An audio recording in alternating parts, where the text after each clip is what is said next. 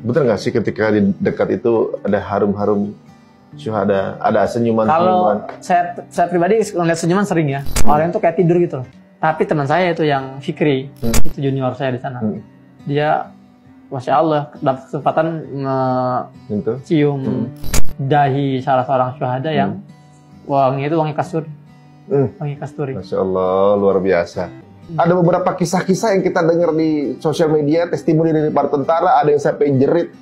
Mereka katanya melihat bukan manusia yang dia lawan atau gimana. Apa gitu benar? Ya, itu benar. Hmm. Memang kesaksian itu itu sudah dikonfirmasi ya. Hmm. Dan itu beredar di video-video bagaimana eh, para militer saya ini mereka memberikan kesaksian bahwa ini yang kami perangi bukan bukan manusia ini hantu. Hmm. Karena kita kita nggak bisa melihat mereka tiba-tiba mereka muncul.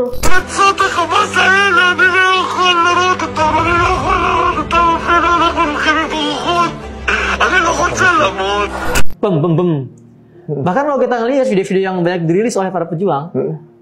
itu para pejuang tuh ngeker tuh tempat terbuka gitu loh, harusnya terlihat kan. Hah. Merkava itu punya fitur 360 derajat, Hmm. ya. Jadi ke- kelihatan nih di mana musuh-musuh kita nih dengan dengan teknik zoom yang sangat tinggi ya, Hmm. teknologi zoom. Tapi para pejuang cuma berapa ratus meter tuh Hah? dengan dengan enaknya me- merontorkan uh, Yasin 105 itu kan. Ah, Peluh lantah. Dan kayaknya ngekernya nggak ngeker-ngeker banget ya. Iya betul kan?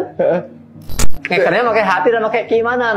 Iya. Wa ma ramaita id ramaita walakin rama. Itu yang mereka baca. Hmm. Tidaklah engkau yang melempar ketika kamu melempar, tapi Allah yang melempar sebetulnya. Itu itu ayat Al-Qur'an yang mereka baca berkali-kali itu. Jadi memang tepat. Masya Allah. Jadi kalau dihitung, sehari katanya sekitar 16 sampai 24 tank Iya, habis sekitar. gitu kan. Iya. Satu tanknya 100 miliar. Hmm. Berapa lah kerugian itu ya? Jadi Jadi kata kalau nggak salah saya dengar eh, saya baca itu sehari mereka menghabiskan 4 triliun. Sehari. Iya, ya. Rupiah, dalam rupiah. Dan satu Iron Dome itu nilainya 3 miliar. Mm-mm. Ngelawan harga rudal 500 dolar katanya. Iya betul. Berarti kerugiannya udah besar nih. Besar sekali. Jadi kalau misalnya Gaza masih bertahan sekitar ya seminggu atau dua minggu lagi bisa bangkrut mereka nih. Ya,